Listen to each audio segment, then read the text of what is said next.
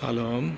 من وقتی می‌خواستم خودروی کویک رو بخرم هیچ بررسی راجبش نبود هیچ وبسایتی. گفتم یه بررسی مختصری راجبش انجام بدم براتون. یه ویدیو تهیه بکنم که لاقل از کم و کیف کلیش یک اطلاعاتی داشته باشید. اگر تصمیم به خرید این خودرو دارید.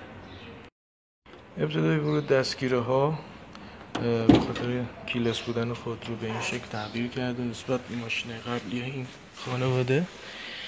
جلو داشبورد کویک به این ترتیبه و گیربکس اتوماتیکش یک دست دنده در واقع جمع جوری به این حالت داره که هم حالت دنده دستی معمول داره که تو دفترچه اشاره شده که حالت economy هست.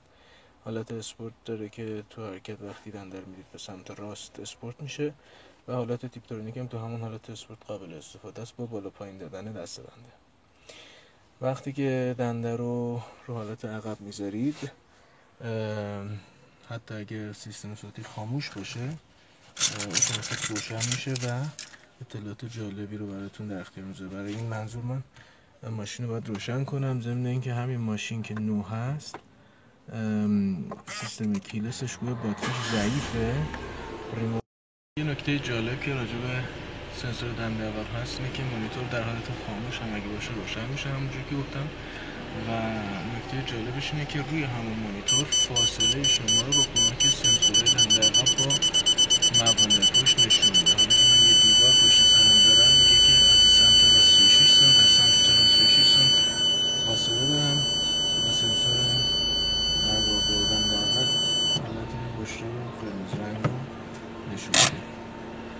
یه نکته فوق العاده عجیب و غریب راجع به این ضبط خودروی صفر یا 300 تومن داشته رفتن اینه که هیچ نوع فلشی روش درست کار نمی‌کنه. یعنی فلش رو که می‌زنی با اینکه interface خوشگلی داره و اندروید چهار البته که اندرویدش قدیمیه بلافاصله می‌زنه که USB جدا شد بکنیم ضمن اینکه خوندنش درستی انجام نمیشه. بازیگران به ترتیب اجرای مرتبا تو حرکت به محض اینکه تو دست انداز میفتی می‌نویسه که USB جدا شد با این همه فلش من امتحان کردم. همشون همین مشکل رو داره. راجع به مولتی مدیاش همین ممکنش توضیح دیگه هم بدم. این که توی حالت هوم چون اندروید هست قسمت صوتی رو گذاشتن و قسمت تصویری فیلم رو گذاشتن و عکس گذاشتن که اگه رو فلشتون فقط باشه اینا کار رو روی چه رم می‌خوره ولی رمش فقط برای نویگیشنه و نمیشه روش آهنگ داشت و میشه از یو اس استفاده کرد. به خاطر همین ما فقط رادیو رو داریم. میشه بلوتوس رو وصل کرد. بلوتوس که روی فرمون دکمه قطع وصل تماس رو داره. رهیاب خودشون که فلش دو گیگابایتی که navigation روش هست روی ماشین تحویل شده. که navigation فوق یواش و کندی هست. خیلی دلچسب نیست نسبت به navigation های اندروید که سراغ داریم. نمبر میاریم به منوی اصلی. توی منو رادیو که هست یه صفحه دیگه داره که اینم جالب بود برای من. نقشه گوگل رو داره که با گوشیتون باید hotspot درست بکنید و مولتی مدیا رو وصل بکنید بهش. ضمن اینکه چند تا برنامه هم خود شرکت سازنده این مولتی مدیا که شرکت دوران هست. تو سایتش گذاشته که این سه چهار تا نرم ماشین حساب و گروه سایپا و Waze هست که Waze بخواید استفاده کنید یا هم گروه سایپا رو بخواید استفاده کنید. بعد اینترنت رو از طریق از به حضورتون سیستم hotspot وصل بکنید راجع مولتی مدیاش من کد رو خاموش کردم که صدای اضافه نداشته باشیم. دارمش رو حالت آن. ولی روشن نمی کنم یه حالتی داره به اسم خودرو. یه توی منوهاش نقش داره به اسم خودرو که اطلاعات ماشین رو اونجا داره. در جهارت مایی خونک کننده الان که خاموش کردیم. در محیط بیرون اطلاعات کیلومتر شمار اینکه کدوم در باز باشه. مثلا من اگر الان چراغای خود رو روشن بکنم اینجا نشون میده که چراغای عقب روشن شده. در رو که باز بکنم نشون میده که در باز شده. سرویس ها رو خودتون باید دستی بهش بگید که آقا فلان تاریخ شروع شد کار خود رو و بنا به اینکه شروع شده کیلومتر رو نشون میده براتون که بر اساس اون اقدام بکنید. راجب تایرها. TPMS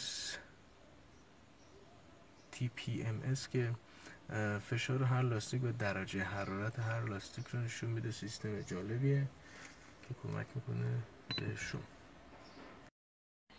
شیشه های عقب و جلو برقی هستن آینه ها برقی هستن که نسبتا خوب کار می‌کنه. باز توی خودرو صفر کیلومتر ما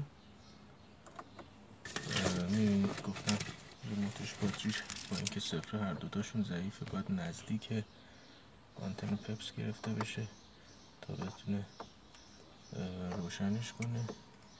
من فقط می‌خوام بزنم به حالت آن که شیشه های بکشم بله که دیگه ماشین که این ماشین صفری که ما گرفتیم گوش کنیم یه صدایی هست توی در یه چیزی به شیشه می‌خوره یه سیمی قطعه اونجا ول شده با اینکه خود رو صفر هست داشبوردش متاسفانه چراغ نداره نقطه ضعف بزرگی جنس پلاستیک ها خشک خشک حتی روی فرمون کاملا خشک پلاستیک یه ایربگ اینجاست یه ایربگ اونجا. و سایبون سمت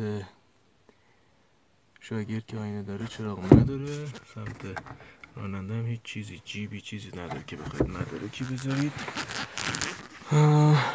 این هم فضای خشکه که فکر می‌کنم نور کافی نداره که الان ببینید. چراغ سقفی هم که به این شکل